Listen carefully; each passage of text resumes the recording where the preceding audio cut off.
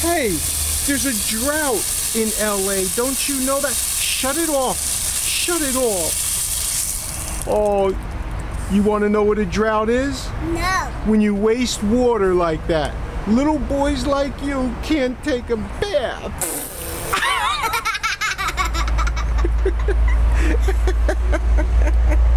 That's what I say. I think you're right. I'm gonna do that All right, now shut it off. Shut it off. The little boy wants to take a bath. And you messed everything up. He can't take a bath now because you wasted the water.